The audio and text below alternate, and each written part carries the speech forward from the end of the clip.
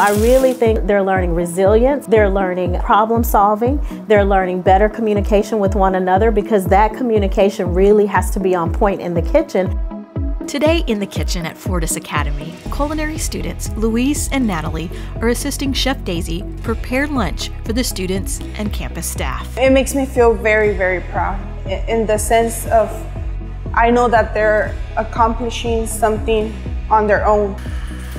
She's proud because several of the culinary students received professional certifications. 22 students having the food handler certification. So there's the food handlers, which everyone, each one of our students has.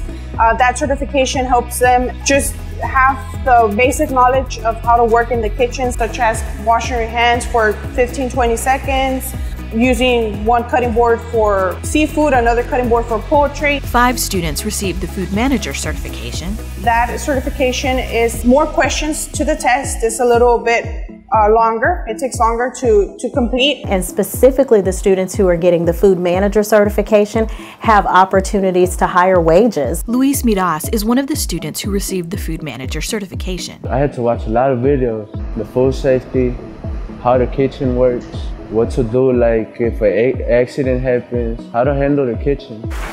His classmate Natalie received one of the food handler certifications.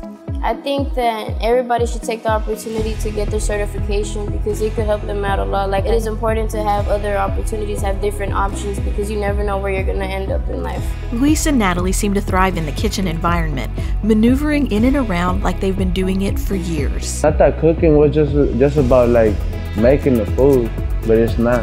It's it's about like teamwork. The culinary program at Fortis Academy is definitely thriving. I'm gonna make tamales and mangonadas. Yeah, I'm excited.